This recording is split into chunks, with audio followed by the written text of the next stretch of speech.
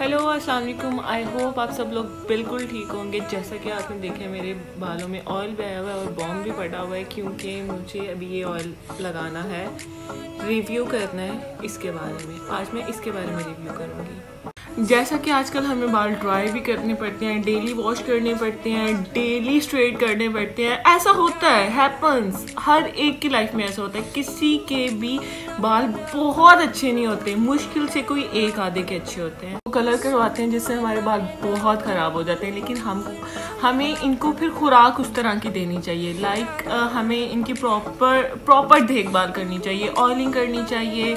हर straight के बाद हमें इसको सीरम हमें सीरम लगा के अपने बालों को स्ट्रेट करना चाहिए और प्रॉपर उसी तरह ही केयर करनी चाहिए, तरह ही केयर करनी चाहिए जैसे हम अपनी स्किन की केयर करते हैं, जैसे कि मेरे हाथ देखें, कितने गोरे हैं, मेरा मुँह देखे, कितना गोरा मेरे बाल कितने ख़राब है।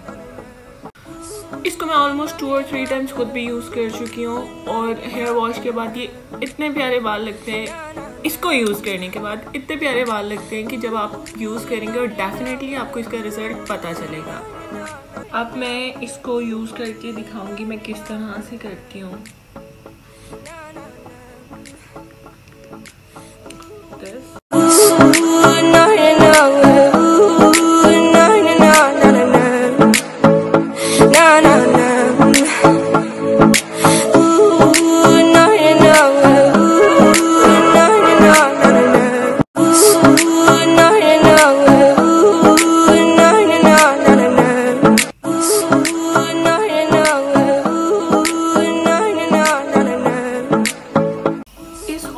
जितने भी इंग्रेडिएंट्स हैं, वो सब नेचुरल इंग्रेडिएंट्स हैं लाइक सौंफ, आंवला, रेठा आलमंड कोकोनट सरसों ऑयल खुशकास वगैरह वगैरह।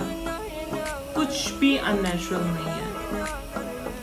और ये हेयर ऑयल मैं सबको रिकमेंड करूँगी कि आप लें, जाएँ और बाय करें। मैं इसका लिंक डिस्क्रिप्शन में डाल दूँगी। और आप मेरा कोड यूज़ करके ऑलमोस्ट टेन परसेंट तक डिस्काउंट ले सकते हैं। और मैं अपना डिस्काउंट कोपन डिस्क्रिप्शन में डाल दूँगी। आप वो यूज़ करके ऑलमोस्ट टेन परसेंट तक डिस्काउंट ले सकते हैं। And this oil is an amazing hair oil I have used